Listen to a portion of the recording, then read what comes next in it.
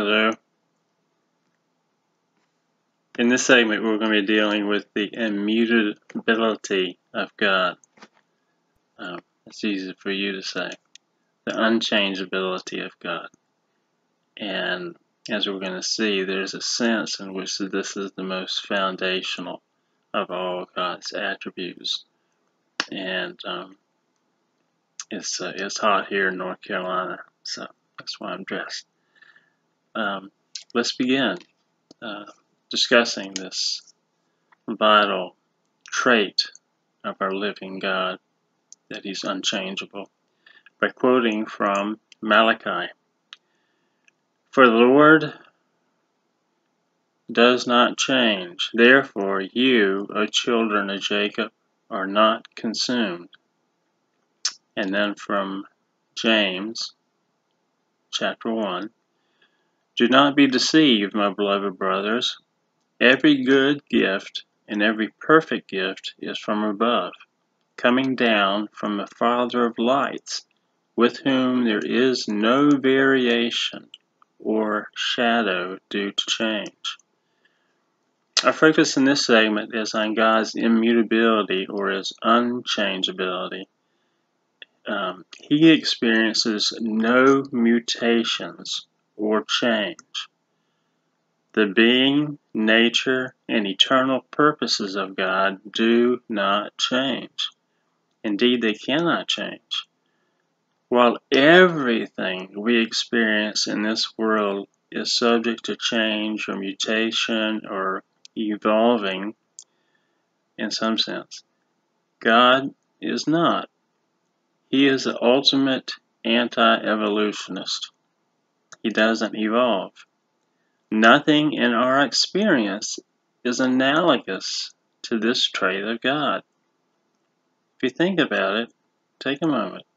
Everything in our lives changes, especially in this fallen world in which everything is bent in some way. If we ever put up an either or in any situation, it must be either perfect or nothing. We'll always get nothing. Because there's nothing perfect in this world. And there's certainly nothing unchanging. So, as humans, we are growing or diminishing constantly in our weight, sanctification, knowledge, strength, etc. However, all of the traits of God we have mentioned so far, and will continue to, are in a sense stabilized by the fact that God never needs or experiences augmentation or diminishment of any kind.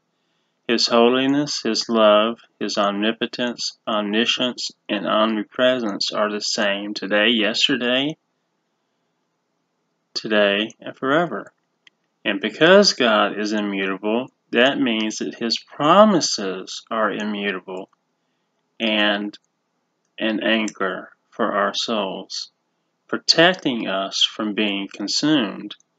And I think that may be the reason why it adds that on the, the end of Malachi, where it says that God is unchanging, therefore you are not consumed. I've often wondered why it was there, but uh, I think it's because of the fact that since God is unchanging, that means that we have confidence that his covenantal promises will never be broken.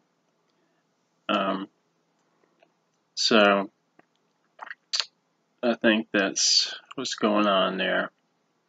It ensures that God will always be the same in, in every respect. Some of the ways that God has dealt with us in the flow of redemption um, have changed, you know, from Old Testament to New Testament, you know, like the change in dietary laws.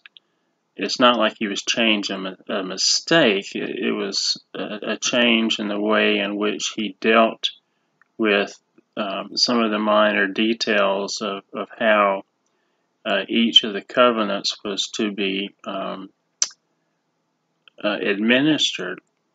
And, um, but he's not correcting mistakes or, or anything like that. Um, rather, he sovereignly chooses to change the outward signs of each covenant. And he does change in how re he responds to our situations. He grieves or he's pleased. So I say that because immutability uh, does not mean that he's a divine stoic or a celestial rock. Okay? But in James, it speaks of God as not having a shadow, which is kind of curious. Um, and it's a shadow which, uh, you know, doesn't vary and change. Uh, there's no shadow in God, I think, because he does not change. The refulgence of his glory is so blazing, the light, it precludes the presence of any shadows. Because, see, shadows indicate darkness, and in biblical categories, darkness indicates evil. Um, I couldn't help but think of this when um, this came up because in my dealings with demonic infestations, I discovered that perhaps the most common manifestation of the demonic is what is often called shadow people. I've seen my share of these unclean spirits, and I have a holy hatred of them. Normally, they dart around, or uh, you see them out of the corner of your eye, but sometimes they do linger near people, near their beds, in various guises and poses, sometimes with a hat, called the Hat Man or whatever. But to me, the fact that these demons are posing as darkness is like perfectly appropriate physical manifestation of what pure evil will look like. Being pure evil, they are devoid of any divine light of holiness. And so being so being darkness, visible darkness seems to be a very appropriate very appropriate for their spiritual condition. Shadow figures. They are spiritual darkness. Um, so again, I think it's appropriate. But you have to remember that we were not in darkness, but the Bible says that we were darkness when we were outside of Christ. And I want to mention also that these shadow people are demons, period. There's no question at all. But the Most High God is holy, holy, holy, and there is no hint of darkness in him. Instead, only holy and perfect in all his divine attributes. He does not cast a shadow because he is spirit but more importantly, he is morally perfect. He is immutable and immutab immutably perfect light. Um, God's immutability is not to be confused with immobility or being static. He is infinitely powerful and dynamic. Um, what Im immutability calls attention to is his internal consistency. God does not learn, and his being or character is never augmented or diminished, and his eternal sovereign decrees are immutable. Now, in this uh, context of discussing God's uh, unchangeableness, I think it's appropriate to ask does God change by emptying himself?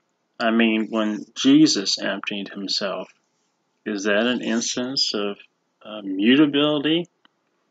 Um, there have been several centuries in the history of the church in which the deity of Christ has come under very serious attack. The third century, the fourth century, the fifth century, the 19th century, the 20th century, and our own. And at the heart of this controversy is the so called kenosis hymn in Philippians 2. Um, this kenosis, or kenosis is the Greek word for emptying, um, that Christ experienced has occasioned great controversy. Let me read to you this hymn from Philippians. Have this mind among yourselves, which is yours in Christ Jesus, who, though he was in the form of God, did not count equality with God a thing to be grasped, but here's a key word, emptied, kenosis, himself, by taking the form of a servant, being born in the likeness of man, and being found in human form, he humbled himself by becoming obedient to, to the point of death, even death on a cross. Philippians 2 5 and 8. Now, of what did Christ empty himself? What changed? Does this threaten the truth of God's immutability? Starting in the 19th century, liberal theologians argued that Christ emptied himself not just of the outward glory of his divinity, but they argued that Christ emptied himself of some or all of his divine attributes when he became incarnate. That is, the immutable God changed and God ceased being God, or at least fully God. A quick lesson in Christology, okay? Remember our discussion on, on the Trinity? We talked about how the Trinity was um, one in essence and three in persons. Well, in Christ, we have the opposite going on with the Trinity. In the Trinity, there is one essence and three persons, but the classical Orthodox, Orthodox teaching about Christ says that he, he is one person with two essences, a divine and human. He is simultaneously truly God and truly man. Now, what these heretical theologians are arguing is that the God man voluntarily divested himself not just of his outward glory, but of his omniscience, his omnipotence, and his omnipresence. This was necessary, they said, for him to truly identify with us. But we can see in Hebrews, the book of Hebrews, where it talks about Jesus being able to sympathize with us as our great high priest, that he's able to truly be able to sympathize us with us without temporarily doing the impossible, that is, losing his deity. Touching his human nature, Jesus has experienced all the weakness and temptations that we do, but without sin. But in his incarnational humbling, he did not do what cannot be done, God ceasing to be God, the second person of the Holy Trinity ceasing to be God, while appearing as a nondescript poor Jewish carpenter, now rabbi, his human nature was perfectly joined to his divine nature. As all had and has all the traits of divinity. The outward glory was what was hidden and was displayed to some degree on the Mount of Transfiguration.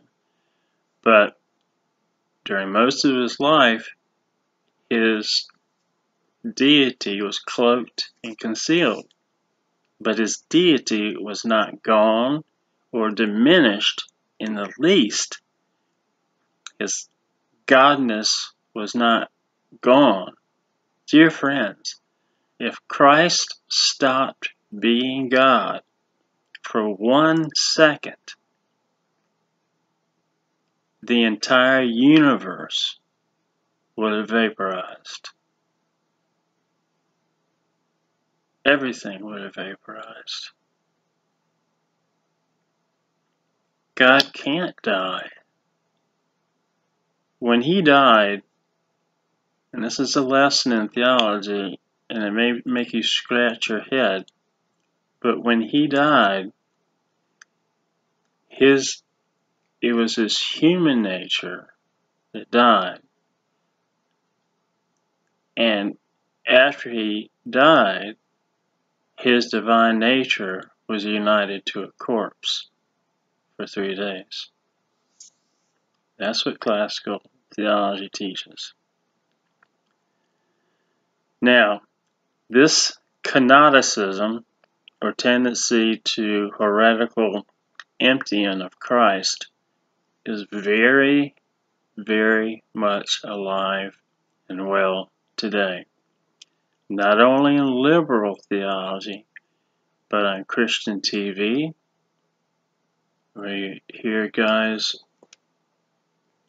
in a well meaning way talk about how God laid aside his omnipotence or his omniscience or so forth, instead of talking about how Christ in his human nature did not have omniscience. That's one thing to say that. But to say that God was not omnipotent, that's not that's not good. Um, I I, um, I had the honor of studying in seminary systematic theology under um, Dr. Robert Reymond, who has written perhaps the definitive treatment on this subject of kenoticism, the kenosis theory, and defending the full deity of Christ from the Old and New Testament. It's entitled The Divine Messiah by Robert Reymond. And like I said, I had real honor of studying under some of the best theologians in the world at Covenant Seminary. And he was definitely one of them. And I remember his his opening address uh, being uh,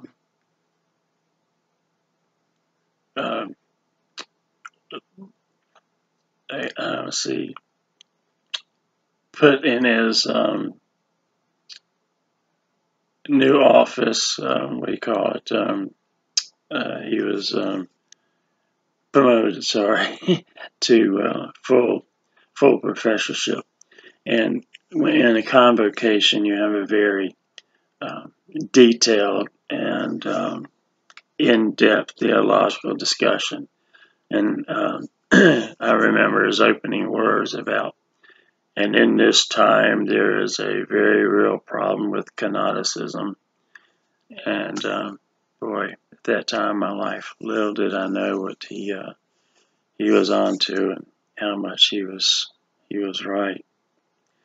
So um, let's move on here and we'll see that um, another question that comes to mind is did God change his mind? If God uh, is immutable, does that mean that he does not change his mind either? Well, it seems that he does, at least in some texts. In Exodus 32:14 it says, "And the Lord relented or changed his mind from the disaster he had spoken of bringing on his people." Now, this came after an impassioned plea and prayer that Moses had with the Lord. And there's a couple other texts similar to that. But in addition to that text, you have these two verses. First one from Numbers. God is not a man that he should lie, or the Son of Man that he should change his mind. Has he said, and will he not do it?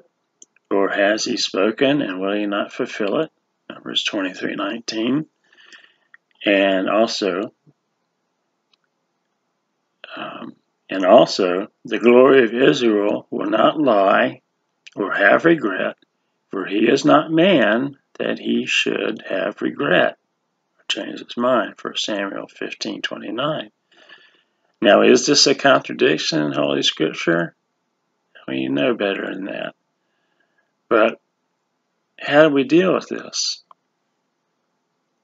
Well, don't have enough time to, to really dig into it as much detail as I'd like. So if you have some questions, you can raise it in the question section on uh, YouTube, but I'll try to deal with it a little bit here. First, we must see Moses' pleading with Yahweh in terms of God's sovereign will. Remember our discussion in our last segment about how God uses means in His providence and how one of His main means in accomplishing His um, eternal plan is the prayers of His sons and daughters, to which He personally replies to, and that part of His eternal plan was that Moses would pray that prayer and have that effect on him. But I don't want to diminish the fact that Moses' prayer had the impact on God that it did.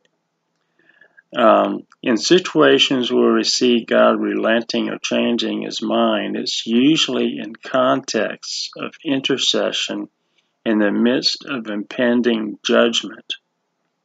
Okay?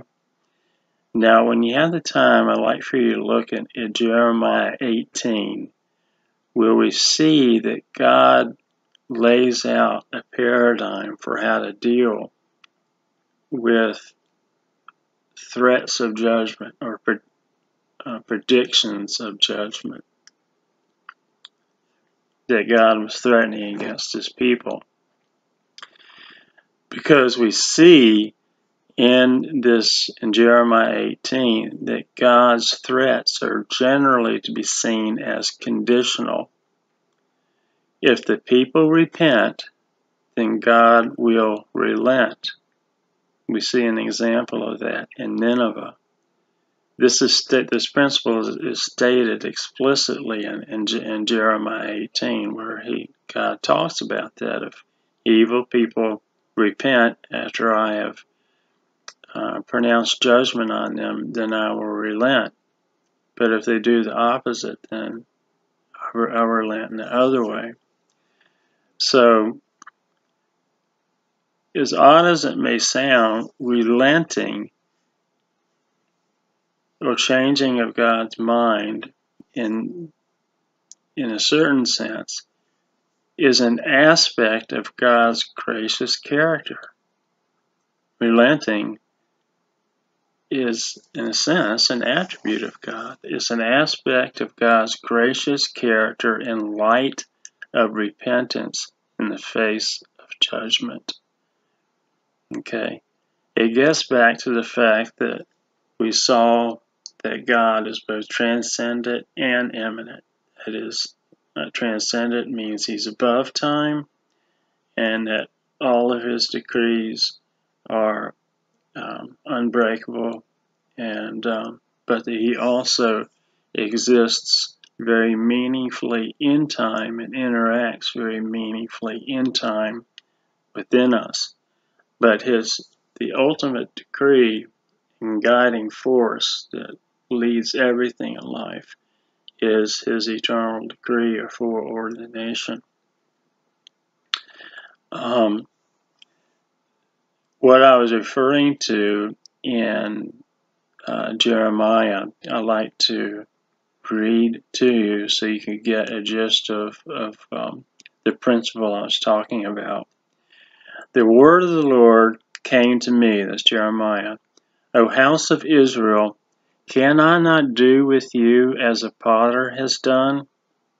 Okay, there you have language of, strong language of the lordship theology going on. Declares the Lord. Behold, like the de- like the clay in the potter's hand, so you are in my hand, O house of Israel. If at any time I declare concerning a nation or a kingdom that I will pluck up and break down and destroy it, and if that nation concerning which I have spoken turns from its evil, I will relent of the disaster, or in Hebrew, change my mind, that I intended to do to it. And if at any time I declare concerning a nation or a kingdom that I will build up and plant it, and it does evil in my sight, not listening to my voice, then I will relent of the good that I had intended to do it. That's from Jeremiah 18, 5 through 10. So, um, what we have here is a general principle that was built on the prior incident in Exodus, God's interaction with Moses. And we, we note that many of, um, well, I'll come back to that. There's a, um, many of the prophecies are, quote, conditional prophecies. And I don't mean to water down the authority of that, but that's exactly what Jeremiah is talking about. And they are, in a sense, conditional. God will judge them or not judge them, condition or based on their response. God does not delight in the, the destruction of the wicked.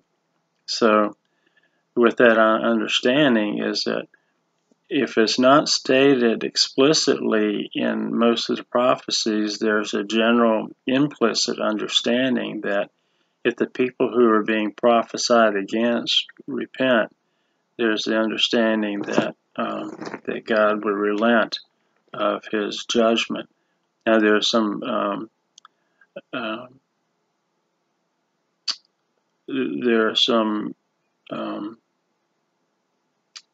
there are some changes to that, or um, what's the word I'm looking for?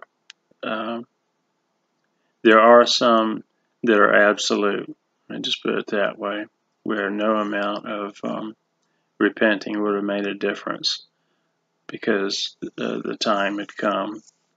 But for the most part, the, the, uh, the prophecies were determined by how the people uh, responded and, and that's in line with God's gracious character. Now, another important thing to keep in mind, my friends, is that you'll notice that the discussion with Moses was in a um, historical narrative context. And that's why we must interpret historical narrative with the didactic texts to clarify it. One of the most basic rules of hermeneutics or sound um, interpretation is interpreting the historical narratives through the clear didactic teaching texts. And so the two texts that I mentioned to you about God not lying or repenting, those are didactic texts which um, give us teaching about the nature of God. Okay, so they should t- take interpretive priority in our understanding of the nature of God when it comes to uh, this situation. Uh, or we'll end up thinking that, you know, we can correct God. You know, Moses showed real holy boldness in the way that he wanted, in, in the way that he interacted with God. And that's what he wants from us is a holy boldness. But, you know, don't get it into your mind that, that um, you know, that we can give God information that he doesn't already have, um, or give him, him a motivation that he doesn't already have. That's blasphemous. Um, he wants us to pray in an impassioned way that brings his own promises before him, in a sense, reminding him of what he himself has said. But that's different from thinking that we're teaching God something. That's something you know, we can't do. Um, the bottom line, uh, the point is, is that God wants us to pray. That's that's the main message that I, I think is is is seen here. And as we talked about last night, prayer changes things. Okay. Now, lastly, there is a movement, um, process theology or God in process. And if you've if you've, if you if you've heard the term middle knowledge, that's starting to get closer and closer to perilously close to um, process theology in evangelical circles because of some of the things that it implicates. Um, what process theology teaches is that there is a mutable God, um, and this mutable God of modern theology um, is also pretty prevalent in preaching as well. If you listen to some, uh, a lot of the messages, actually, what we see is a finite God who is constantly mutating or changing, and is technically called panentheism. He, uh, as opposed to the living God, he may not be tomorrow what he is today. That's the teaching of process theology, or God in process. They unabashedly attack immutability because they think it denies human libertarian freedom. But, friends, in biblical theology, in the study of God's Word, we start with the Word of God as our presupposition, and we don't build a theology based first on what we think is compatible with our views of God and human freedom. That's upside down. These guys start from man and a um, unbiblical view of human freedom, and then try to fit God into a box that will supposedly um, then fit into the, their box of understanding of autonomous human freedom. So that's not the way biblical theology works. We start with the Word of God, we start with God, and then we let the Word speak for itself, and we let the Word shape our thinking. And you know, friends, we close our mouths when we face passages that we find troubling or humble us or challenge us. We close our mouths and we listen. Because I know that we're going to come in into contact with some some teachings that are going to challenge us. But a God who is constantly changing is not worthy of our worship or trust. And it is God's precious immutability that safeguards all of his promises. In Hebrews 6, it talks about how such a lovely picture that it's an anchor for our soul that enters into the heavenly of heavenlies, the sanctus, sanctus sanctorum of, of heaven, and an anchor for our soul is this knowledge that God's attributes are unchanging and His promises are unchanging. All of them, including, including Romans 8:28, 8, uh, and that God will not change. And in order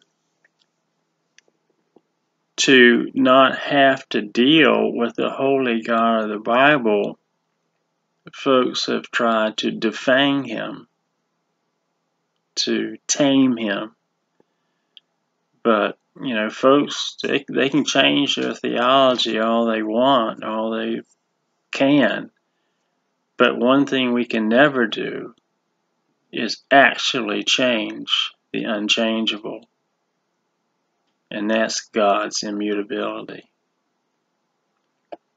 If there are changes to be made, then they need to be made in us because Jesus Christ is the same yesterday, today, and forever, and forever, and forever. Amen.